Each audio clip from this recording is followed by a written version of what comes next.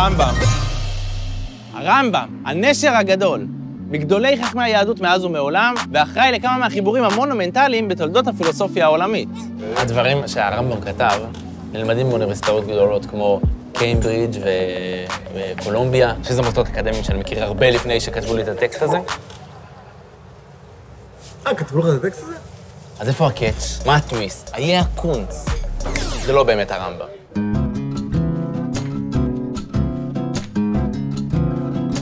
דיוקנו המפורסם של הרמב"ם, שמבוסס על ציור עתיק, שגם הופיע פה בישראל על שטר של אלף שקלים, ובהמשך גם על שקל חדש, ועוד לפני כן הוצב פסל מפורסם שלו בעיר הולדתו בקורדובה. בקיצור, זה לא הרמב"ם. אז זה פשוט לא הוא? יותר מזה, על פי רוב המחקרים שנעשו, הדיוקן הזה הוא בכלל ציור של חכם מוסלמי שחי באותו דור. תכלס, מי יבדוק? זה לא שיש צילום שלו או משהו. הפאות מגולחות, צורת הקשירה של כיסוי הראש, זה מאפיינים אה, של, של חכמים מוסלמים מאותה תקופה. הרמב"ם לא לבד בנושא של זיוף פורטרט שאינו שלו. רוב חכמי ספרד של אותה תקופה זכו שהשם שלהם יוצמד לדיוקן שאינו שלהם. הרמב"ן, בעל הטורים, אבן גבירול, הריף, האבן עזרא, ועוד ועוד. כל תיעוד מצויר או מפוסל שלהם, הכל שקר.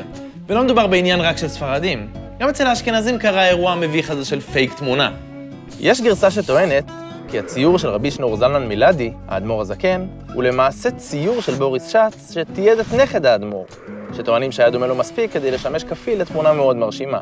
הרמב"ם היה נגנב אם היה יודע שיש דיוקן שלו. הרמב"ם היה נגנב אם היה יודע שאנחנו מאמינים שהוא אשכרה ישב להיות מודל של דבר כזה. הוא, הוא היה נגנב... באופן עקרוני, היהדות נמנעת מ- מלהגיע למצב של סגידה ברמה אלילית לכל בן אדם, אה, חפץ, אה, מבנה, מקום. אין, אין אלילות ביהדות.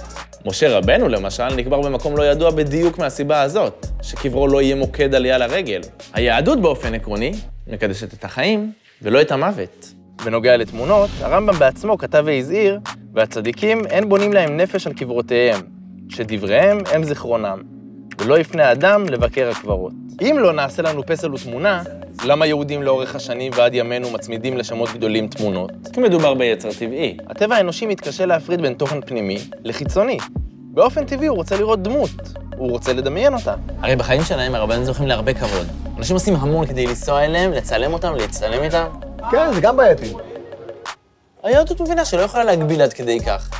חוץ מזה שזה מעודד הערכה לדמויות מחנכות, רבניות. אבל רק עד גבול מסוים. גבול שנועד להבדיל בין הערכה לעבודה זרה, וזה גבול שצריך להיזהר לא לחצות. אבל העיקרון ברור.